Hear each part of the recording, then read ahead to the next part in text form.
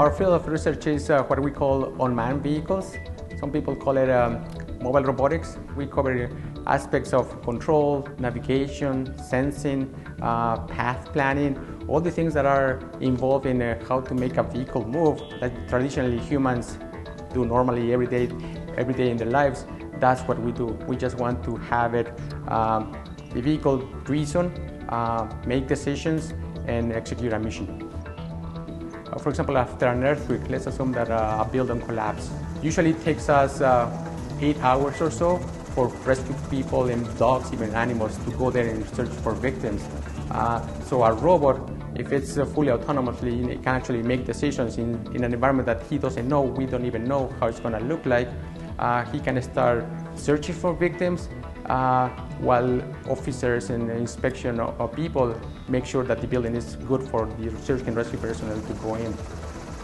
We might know where they are, what are their, their problems, and what can we do to help them.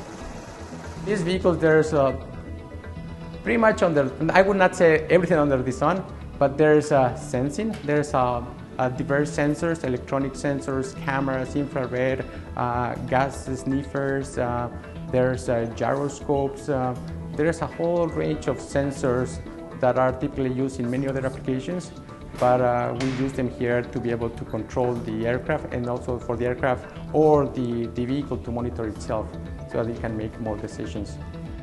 This vehicle is unique because uh, in theory it can do things that no other vehicle can, uh, can do. And one of the things that it can do is uh, it's hover pitch. So basically we can, we can have the vehicle pitch at different angles and maintain it in that, uh, in that attitude uh, for as long as we want. for example, a helicopter can hover, but it cannot really pitch. by having it pitch, we can actually have this vehicle perform maneuvers that not, no other aircraft can do. By doing that, we can actually land and take off from high slopes, for example, up to 40 degrees, so where a traditional helicopter will not be able to land.